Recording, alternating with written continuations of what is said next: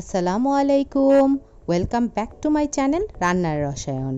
আমি আজ আপনাদের করে দেখাবো দারুণ মজার একটি ড্রিঙ্কস ম্যাঙ্গো ফ্রুটিকা হুবহু আমার রেসিপিটি ফলো করলে আপনারাও একদম দোকানের স্বাদের ফ্রুটিকা পেয়ে যাবেন।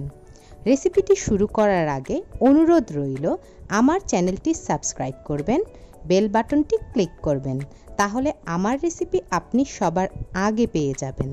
চলুন তাহলে রেসিপিটি দেখে নেওয়া যাক। এখানে আমি দুটি পাকা মিষ্টি আম নিয়েছি আর সাথে নিয়েছি একটি কাঁচা ছোট আম। কাঁচা আমটি এমন হতে হবে যে কাঁচা আমের রং হলুদ হবে, কিন্তু স্বাদের টক হবে। আর লাগবে হাফ কাপের একটু বেশি চিনি। সাথে লাগবে প্রায় দু কাপ পরিমাণ নর্মাল পানি। এখন আমগুলো খোসা ছাড়িয়ে টুকরো করে নিতে হবে। এরপর আমগুলো চুলোয় অল্প আঁচে অল্প সিদ্ধ করে নিতে হবে। এর জন্য চুলায় লো মিডিয়াম আঁচে একটি প্যান বসিয়ে দিতে হবে। প্যানে আমের টুকরোগুলো দিয়ে দিতে হবে এবং সাথে দিতে হবে অল্প পরিমাণ পানি।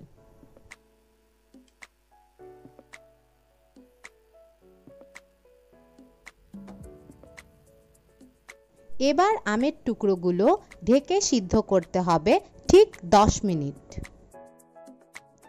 আম সিদ্ধ হয়ে গেলে নামিয়ে খুব ভালো মতো ঠান্ডা করে নিতে হবে। এবার অন্য চুলায় লো মিডিয়াম আঁচে একটি প্যান বসিয়ে দিতে হবে। প্যানে চিনিটুকু দিয়ে দিতে হবে। সাথে দিতে হবে পানি। একটি বলক আসা পর্যন্ত জাল করতে হবে। খেয়াল রাখতে হবে যাতে শিরা ঘন না হয়ে যায়। শিরায় বলক চলে আসলে শিরাটা খুব ভালো মতো ঠান্ডা করে নিতে হবে।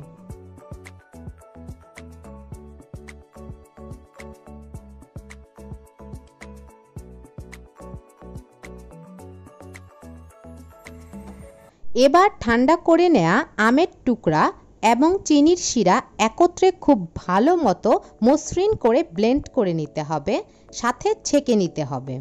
তাহলেই তৈরি হয়ে যাবে দারুণ স্বাদের ম্যাঙ্গো ফ্রুটিকা।